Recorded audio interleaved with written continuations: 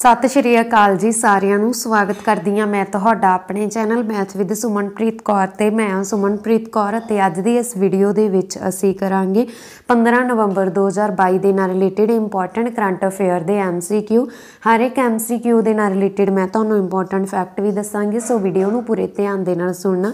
ਤੇ ਜਿਹੜੇ ਵੀ ਸਟੂਡੈਂਟ ਇਸ ਵੀਡੀਓ ਦਾ ਪੀਡੀਐਫ ਲੈਣਾ ਚਾਹੁੰਦੇ ਨੇ, ਉਹ ਟੈਲੀਗ੍ਰam ਚੈਨਲ ਤੇ ਵਿਜ਼ਿਟ ਕਰਕੇ ਇਸ ਵੀਡੀਓ ਦਾ ਪੀਡੀਐਫ ਵੀ ਲੈ ਸਕਦੇ ਨੇ। ਟੈਲੀਗ੍ਰam ਚੈਨਲ ਦਾ ਲਿੰਕ ਮੈਂ ਤੁਹਾਨੂੰ ਇਸ ਵੀਡੀਓ ਦੇ ਹੇਠਾਂ ਡਿਸਕ੍ਰਿਪਸ਼ਨ ਬਾਕਸ ਦੇ ਵਿੱਚ ਦੇ ਦਿੱਤਾ ਹੋਇਆ ਹੈ ਤਾਂ ਜ਼ਿਆਦਾ ਟਾਈਮ ਵੇਸਟ ਨਾ ਕਰਦੇ ਹੋਏ ਅਸੀਂ ਅੱਜ ਦੀ ਇਹ ਵੀਡੀਓ ਸਟਾਰਟ ਕਰਦੇ ਹਾਂ। ਜੇਕਰ ਤੁਹਾਨੂੰ ਵੀਡੀਓ ਚੰਗੀ ਲੱਗੇ ਤਾਂ ਪਲੀਜ਼ ਵੀਡੀਓ ਨੂੰ ਲਾਈਕ ਅਤੇ ਸ਼ੇਅਰ ਜ਼ਰੂਰ ਕਰ ਦੇਣਾ। ਹਾਲ ਹੀ ਵਿੱਚ ਬਾਲ ਦਿਵਸ ਕਦੋਂ ਮਨਾਇਆ ਗਿਆ? ਹਾਂਜੀ, ਬਾਲ ਦਿਵਸ 14 ਨਵੰਬਰ ਨੂੰ ਮਨਾਇਆ ਗਿਆ। Option number A is the right answer ਹੁਣ 14 ਨਵੰਬਰ ਨੂੰ ਹੀ ਕਿਉਂ ਮਨਾਇਆ ਗਿਆ? ਅਸਲ ਦੇ ਵਿੱਚ ਆਜ਼ਾਦ ਭਾਰਤ ਦੇ ਪਹਿਲੇ ਪ੍ਰਧਾਨ ਮੰਤਰੀ ਪੰਡਿਤ ਜਵਾਹਰ ਲਾਲ ਨਹਿਰੂ ਦਾ ਜਨਮ ਦਿਨ ਹੁੰਦਾ 14 ਨਵੰਬਰ ਨੂੰ। ਤੇ 1964 ਈਸਵੀ ਵਿੱਚ ਨਹਿਰੂ ਜੀ ਦੀ ਮੌਤ ਤੋਂ ਬਾਅਦ ਦੇਸ਼ ਨੇ ਆਪਣੇ ਮਹਾਨ ਨੇਤਾ ਦੇ ਬੱਚਿਆਂ ਪ੍ਰਤੀ ਪਿਆਰ ਨੂੰ ਦੇਖਦੇ ਹੋਏ ਉਹਨਾਂ ਦੇ ਜਨਮ ਦਿਨ ਨੂੰ ਬਾਲ ਦਿਵਸ ਵਜੋਂ ਮਨਾਉਣ ਦਾ ਫੈਸਲਾ ਲਿਆ ਸੀ ਤੇ ਇਸ ਦਾ ਉਦੇਸ਼ ਕੀ ਰੱਖਿਆ ਗਿਆ ਸੀ? ਬੱਚਿਆਂ ਦੀ ਸਿੱਖਿਆ, ਸਿਹਤ ਅਤੇ ਹੱਕਾਂ ਪ੍ਰਤੀ ਆਮ ਜਨਤਾ ਨੂੰ ਜਾਗਰੂਕ ਕਰਨਾ। ਠੀਕ ਹੈ? ਬੱਚਿਆਂ ਦੀ ਸਿੱਖਿਆ ਪ੍ਰਤੀ, ਸਿਹਤ ਸਿਹਤ ਪ੍ਰਤੀ, ਹੱਕਾਂ ਦੇ ਪ੍ਰਤੀ ਆਮ ਜਨਤਾ ਨੂੰ ਜਾਗਰੂਕ ਕਰਨ ਦੇ ਲਈ ਹਰ ਸਾਲ 14 ਨਵੰਬਰ ਨੂੰ ਬਾਲ ਦਿਵਸ ਮਨਾਇਆ ਜਾਂਦਾ। ਹੁਣ ਅਸੀਂ ਗੱਲ ਕੀਤੀ ਆ ਨਵੰਬਰ ਦੇ ਇੱਕ ਮਹੱਤਵਪੂਰਨ ਦਿਵਸ ਦੇ ਬਾਰੇ। ਤਾਂ ਹੁਣ ਤੱਕ ਅਸੀਂ ਨਵੰਬਰ ਦੇ ਜਿੰਨੇ ਵੀ ਮਹੱਤਵਪੂਰਨ ਦਿਵਸ ਕੀਤੇ ਆ, ਅਸੀਂ ਉਹ ਵੀ ਰਿਵਾਈਜ਼ ਕਰ ਲੈਨੇ ਆ ਜਿਵੇਂ 1 ਨਵੰਬਰ ਨੂੰ ਵਿਸ਼ਵ ਸ਼ਾਕਾਹਾਰੀ ਦਿਵਸ, ਸੱਤ ਭਾਰਤੀ ਰਾਜਾਂ ਦਾ ਸਥਾਪਨਾ ਦਿਵਸ ਅਤੇ ਦੋ ਕੇਂਦਰ ਸ਼ਾਸਿਤ ਪ੍ਰਦੇਸ਼ਾਂ ਦਾ ਸਥਾਪਨਾ ਦਿਵਸ ਮਨਾਇਆ ਗਿਆ। ਸੱਤ ਭਾਰਤੀ ਰਾਜ ਕਿਹੜੇ-ਕਿਹੜੇ ਆ?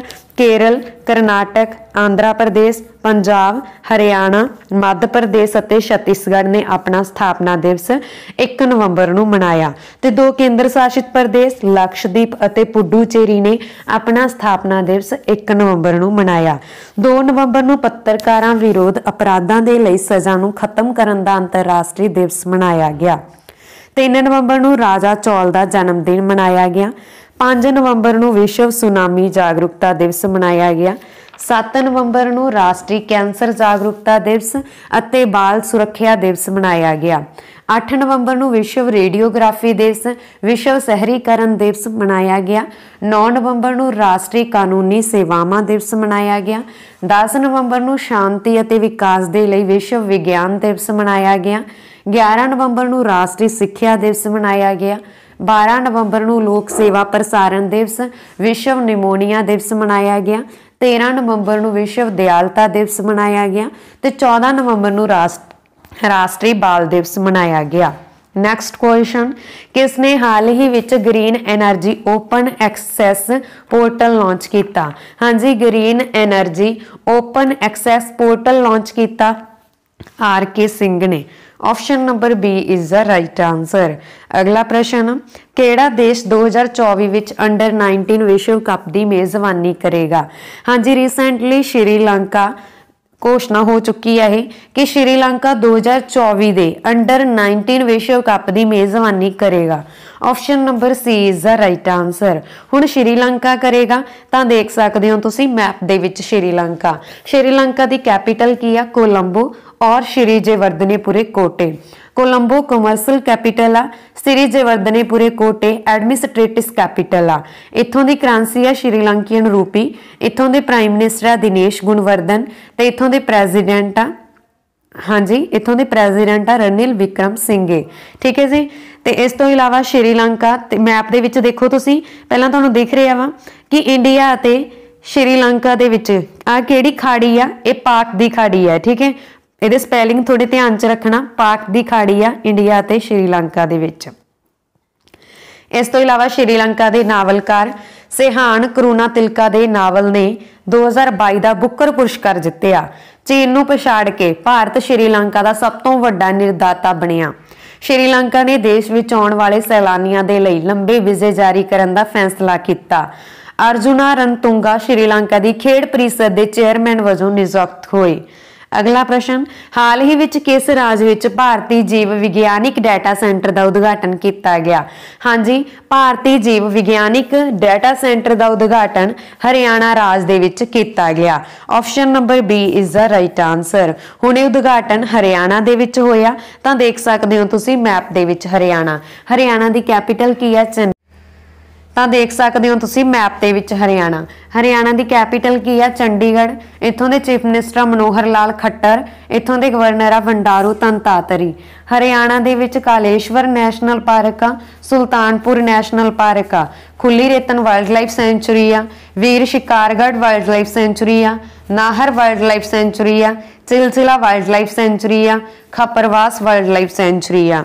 ਹਰਿਆਣਾ ਨੇ ਇੰਡੀਆ ਹਾਂਜੀ, ਹਰਿਆਣਾ ਨੇ India agri business best state award ਜਿੱਤਿਆ। ਹਰਿਆਣਾ ਸਰਕਾਰ ਨੇ TOFI ਪ੍ਰੋਗਰਾਮ ਸ਼ੁਰੂ ਕੀਤਾ।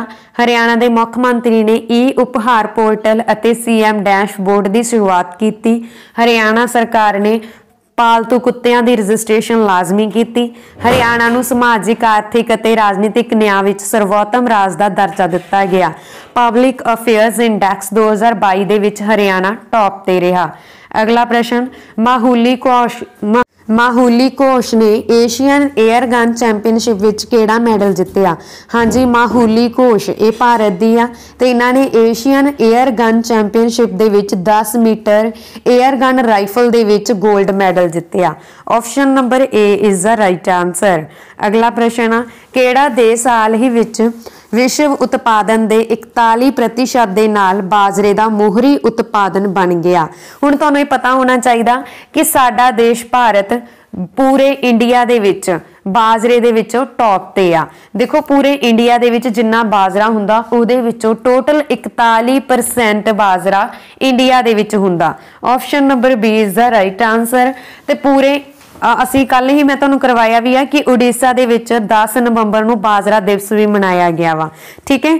ਦੇਖੋ, ਹੁਣ ਤੁਸੀਂ ਯਾਦ ਰੱਖਣਾ ਕਿ ਬਾਜਰੇ ਦੇ ਉਤਪਾਦਨ ਦੇ ਵਿੱਚ ਭਾਰਤ ਪੂਰੇ ਦੇਸ਼ ਦੇ ਵਿੱਚੋਂ ਮੋਹਰੀ ਰਾਜ। ਆ ਆਪਸ਼ਨ ਨੰਬਰ ਬੀ ਇਸ ਦਾ ਰਾਈਟ ਆਨਸਰ ਆ ਅਗਲਾ ਪ੍ਰਸ਼ਨ, ਹਾਲ ਹੀ ਵਿੱਚ ਕਿਸ ਬਾਲੀਵੁੱਡ ਅਦਾਕਾਰ ਨੂੰ ਗਲੋਬਲ ਆਈਕਨ ਅਵਾਰਡ ਨਾਲ ਸਨਮਾਨਿਤ ਕੀਤਾ ਗਿਆ? ਹਾਂਜੀ ਸ਼ਾਹਰੁਖ ਖਾਨ ਨੂੰ ਗਲੋਬਲ ਆਈਕਨ ਅਵਾਰਡ ਦੇ ਨਾਲ ਸਨਮਾਨਿਤ ਕੀਤਾ ਗਿਆ। Option number A is the right answer Shahrukh Khan cinema ਦੇ ਵਿੱਚ ਇਹਨਾਂ ਦੇ ਯੋਗਦਾਨ ਕਰਕੇ ਅਤੇ ਇਹਨਾਂ ਦੇ ਗਲੋਬਲ ਆਈਕਨ ਤੌਰ ਤੇ ਇਹਨਾਂ ਨੂੰ ਗਲੋਬਲ ਆਈਕਨ ਅਵਾਰਡ ਦੇ ਨਾਲ ਸਨਮਾਨਿਤ ਕੀਤਾ ਗਿਆ। ਅਗਲਾ ਪ੍ਰਸ਼ਨ, ਹਾਲ ਹੀ ਵਿੱਚ 2022 ਲਈ ਸ਼੍ਰੀ ਲਾਲ ਸ਼ੁਕਲਾ ਸਮ੍ਰਿਤੀ ਇਫਕੋ ਸਾਹਿਤ ਸਨਮਾਨ ਨਾਲ ਕਿਸ ਨੂੰ ਸਨਮਾਨਿਤ ਕੀਤਾ ਗਿਆ? ਹਾਂਜੀ, ਸ਼੍ਰੀ ਲਾਲ ਸ਼ੁਕਲਾ ਸਮ੍ਰਿਤੀ ਇਫਕੋ ਸਾਹਿਤ ਸਨਮਾਨ ਦੇ ਨਾਲ ਸਨਮਾਨਿਤ ਕੀਤੇ ਗਏ ਆ। Jai Nandan Venky. Option number B is the right answer Venky ਨਹੀਂ ਹੋਣਾ ਜੈ ਨੰਦਨ ਹੀ ਹੈ ਇਹਨਾਂ ਦਾ ਨਾਮ, ਠੀਕ ਹੈ? ਤੇ ਹੁਣ ਇੱਥੇ ਇਫਕੋ ਦੀ ਫੁੱਲ ਫਾਰਮ ਕੀ ਆ? ਇੰਡੀਅਨ ਫਾਰਮਰਸ ਫਰਟੀਲਾਈਜ਼ਰ ਕਾਰਪੋਰੇਸ਼ਨ ਇਸ ਦੀ ਸਥਾਪਨਾ ਕਦੋਂ ਹੋਈ ਸੀ? 1967 ਦੇ ਵਿੱਚ। ਇਸ ਦਾ ਹੈੱਡਕੁਆਰਟਰ ਆ ਨਵੀਂ ਦਿੱਲੀ ਦੇ ਵਿੱਚ। ਤੇ ਐਟ ਪ੍ਰੈਜ਼ੈਂਟ ਇਸ ਦੇ ਐਮਡੀ ਐਂਡ ਸੀਈਓ ਕੌਣ ਨੇ? ਡਾਕਟਰ ਯੂ ਐਸ ਅਵਸਥੀ ਤੇ ਇਹਦੇ ਚੇਅਰਮੈਨ ਕੌਣ ਨੇ? ਦਲੀਪ ਸੰਗਮ। ਅਗਲਾ ਪ੍ਰਸ਼ਨ ਅਸੀਂ ਕਰਦੇ ਹਾਂ ਜੀ। ਹਾਲ ਹੀ ਵਿੱਚ ਕਿਸ ਰਾਜ ਵਿੱਚ ਗਰੀਬ ਪਛੜੀਆਂ ਸ਼੍ਰੇਣੀਆਂ ਦੇ ਰਾਖਵੇਕਰਨ ਨੂੰ 77% ਤੱਕ ਵਧਾਉਣ ਲਈ ਇੱਕ ਬਿੱਲ ਪਾਸ ਕੀਤਾ ਗਿਆ? ਹਾਂਜੀ ਰੀਸੈਂਟਲੀ ਝਾਰਖੰਡ ਰਾਜ ਦੇ ਵਿੱਚ ਗਰੀਬ ਪਛੜੀਆਂ ਸ਼੍ਰੇਣੀਆਂ ਦੇ ਰਾਖਵੇਕਰਨ ਨੂੰ 77% ਤੱਕ ਵਧਾਉਣ ਦੇ ਲਈ ਇੱਕ ਬਿੱਲ ਪਾਸ ਹੋਇਆ। Option number C is the right answer ਹੁਣ ਇਹ ਝਾਰਖੰਡ ਦੇ ਵਿੱਚ ਹੋਇਆ, ਤਾਂ ਦੇਖ ਸਕਦੇ ਹੋ ਤੁਸੀਂ ਮੈਪ ਦੇ ਵਿੱਚ ਝਾਰਖੰਡ। ਝਾਰਖੰਡ ਦੀ ਕੈਪੀਟਲ ਕੀ ਹੈ ਰਾਂਚੀ। ਇੱਥੋਂ ਦੇ ਚੀਫ ਮਿਨਿਸਟਰ ਆ ਹਿਮੰਤ ਸੋਰੇਨ। ਇੱਥੋਂ ਦੇ ਗਵਰਨਰ ਆ ਰਮੇਸ਼ ਬੈਂਸ। ਝਾਰਖੰਡ ਦੇ ਵਿੱਚ ਪਿਕੰਬਰ ਜਲ ਸਮਰਿੱਧੀ ਯੋਜਨਾ ਸ਼ੁਰੂ ਹੋਈ ਆ। ਝਾਰਖੰਡ ਦੇ ਵਿੱਚ ਸੋਰਾਈ ਆਰਟ ਨੂੰ ਜੀਆਈ ਟੈਗ ਮਿਲਿਆ। ਵਿਸ਼ਵ, ਅਸੀਂ ਜੇਕਰ ਗੱਲ ਕਰੀਏ ਝਾਰਖੰਡ ਦੀ, ਤਾਂ ਝਾਰਖੰਡ ਦੇ ਵਿੱਚ ਵੇਤਲਾ ਨੈਸ਼ਨਲ ਪਾਰਕ ਆ। ਝਾਰਖੰਡ ਦੇ ਵਿੱਚ ਪਲਾਮੂ ਵਾਈਲਡ ਲਾਈਫ ਸੈਂਚੁਰੀ ਆ, ਪਲਕੋਟ ਵਾਈਲਡ ਲਾਈਫ ਸੈਂਚੁਰੀ ਆ, ਡਲਮਾ ਵਾਈਲਡ ਲਾਈਫ ਸੈਂਚੁਰੀ ਆ, ਕੋਡਰਮਾ ਵਾਈਲਡ ਲਾਈਫ ਸੈਂਚੁਰੀ ਆ, ਹਾਜ਼ਿਰਬਾਗ ਵਾਈਲਡ ਲਾਈਫ ਸੈਂਚੁਰੀ ਆ, ਪਾਸਰਨਾਥ ਵਾਈਲਡ ਲਾਈਫ ਸੈਂਚੁਰੀ ਆ। ਵਿਰਸਾ ਹਰਿਤ ਗ੍ਰਾਮ ਯੋਜਨਾ ਝਾਰਖੰਡ ਦੇ ਵਿੱਚ ਸ਼ੁਰੂ ਹੋਈ। ਝਾਰਖੰਡ ਦੀ ਗਵਰਨਮੈਂਟ ਨੇ ਪੀੜ ਹਿੰਸਾ ਤੇ ਲਿਚਿੰਗ ਨੂੰ ਰੋਕਣ ਦੇ ਲਈ ਵੀ ਇੱਕ ਬਿੱਲ ਪਾਸ ਕੀਤਾ ਤੇ ਮੁੱਖ ਮੰਤਰੀ ਨੇ ਨੌਜਵਾਨਾਂ ਦੇ ਵਿੱਚ ਖੇਡ ਨੂੰ ਉਤਸ਼ਾਹਿਤ ਕਰਨ ਦੇ ਲਈ ਸਹਾਈ ਯੋਜਨਾ ਵੀ ਸ਼ੁਰੂ ਕੀਤੀ ਆ। ਤੇ ਬਾਲ ਵਿਆਹ ਦੇ ਮਾਮਲੇ ਵਿੱਚ ਝਾਰਖੰਡ ਦੀ ਸਥਿਤੀ ਸਭ ਤੋਂ ਮਾੜੀ ਆ। ਝਾਰਖੰਡ, ਬਿਹਾਰ ਅਤੇ ਉੜੀਸਾ, ਠੀਕ ਹੈ? ਝਾਰਖੰਡ ਭੋਜਨ ਸੁਰੱਖਿਆ ਐਟਲਸ ਵਾਲਾ ਤੀਜਾ ਰਾਜ ਬਣਿਆ। ਪਹਿਲੇ ਦੋ ਕੌਣ ਆ? ਬਿਹਾਰ ਅਤੇ ਉੜੀਸਾ। ਝਾਰਖੰਡ ਸਰਕਾਰ ਨੇ ਬ੍ਰਿਟਿਸ਼ ਹਾਈ ਕਮਿਸ਼ਨ ਨਾਲ ਇੱਕ ਸਕਾਲਰਸ਼ਿਪ ਸਮਝੌਤਾ ਕੀਤਾ, ਜੂਨ ਮਹੀਨੇ ਲਈ ਰੂਬਨ ਮਿਸ਼ਨ ਡੈਲਟਾ ਰੈਂਕਿੰਗ ਦੇ ਵਿੱਚ ਝਾਰਖੰਡ ਟੌਪ ਤੇ ਰਿਹਾ। ਅਗਲਾ ਪ੍ਰਸ਼ਨ, ਕਿਸ ਸ਼ਹਿਰ ਨੇ ਹਾਲ ਹੀ ਵਿੱਚ ਦੱਖਣੀ ਭਾਰਤ ਦੀ ਪਹਿਲੀ ਬੰਦੇ ਭਾਰਤ ਐਕਸਪ੍ਰੈਸ ਨੂੰ ਹਰੀ ਝੰਡੀ ਦਿਖਾਈ? ਹਾਂਜੀ, ਦੱਖਣੀ ਭਾਰਤ ਦੀ ਪਹਿਲੀ ਬੰਦੇ ਭਾਰਤ ਐਕਸਪ੍ਰੈਸ ਨੂੰ ਹਰੀ ਝੰਡੀ ਦਿਖਾਈ ਆ।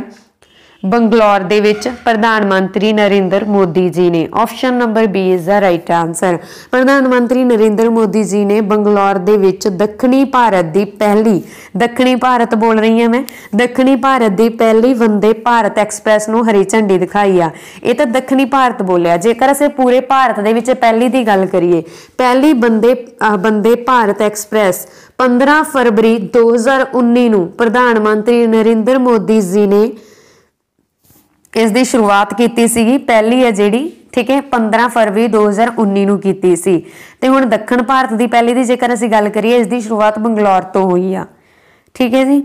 ਅਗਲਾ ਪ੍ਰਸ਼ਨ ਹਾਲ ਹੀ ਵਿੱਚ ਕਿਸ ਰਾਜ ਵਿੱਚ Kaveri south wildlife sanctuary ਨੂੰ ਅਧਿਸੂਚਿਤ ਕੀਤਾ ਗਿਆ? ਹਾਂਜੀ ਰੀਸੈਂਟਲੀ ਤਮਿਲਨਾਡੂ ਰਾਜ ਦੇ ਵਿੱਚ, ਤਮਿਲਨਾਡੂ ਰਾਜ ਦੇ ਵਿੱਚ Kaveri south wildlife sanctuary ਨੂੰ ਅਧਿਸੂਚਿਤ ਕੀਤਾ ਗਿਆ।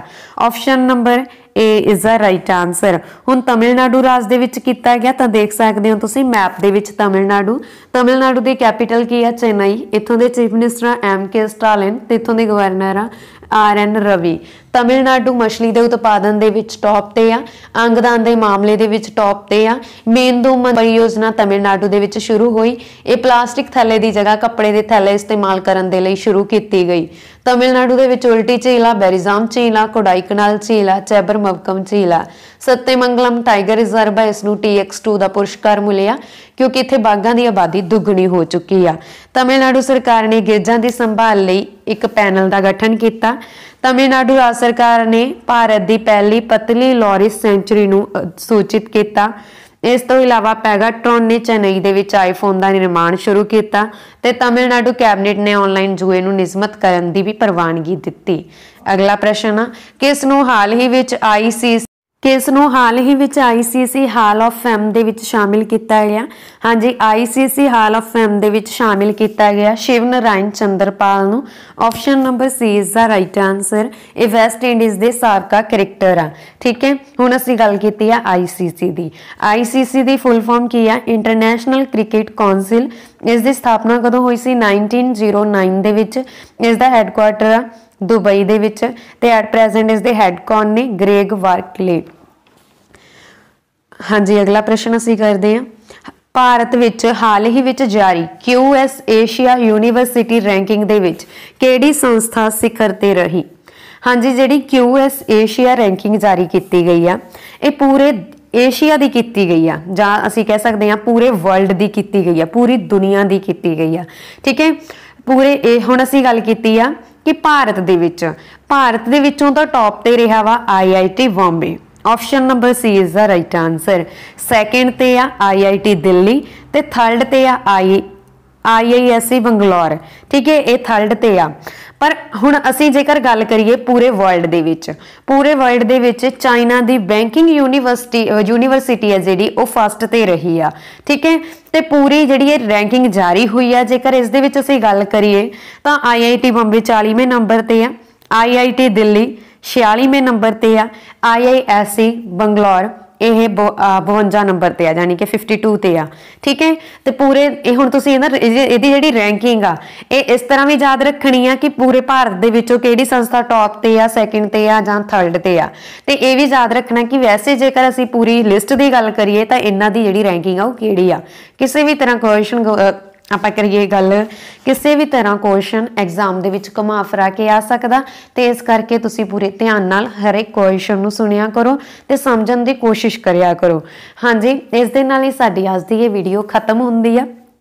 ਇਹ ਵੀਡੀਓ ਤੁਹਾਨੂੰ ਕਿਸ ਤਰ੍ਹਾਂ ਦੀ ਲੱਗੀ, ਕਿਰਪਾ ਕਰਕੇ ਕਮੈਂਟ ਬਾਕਸ ਦੇ ਵਿੱਚ ਜ਼ਰੂਰ ਦੱਸ ਦੇਣਾ।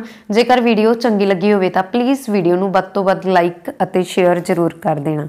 ਧੰਨਵਾਦ ਜੀ ਥੈਂਕਸ ਫॉर ਵਾਚਿੰਗ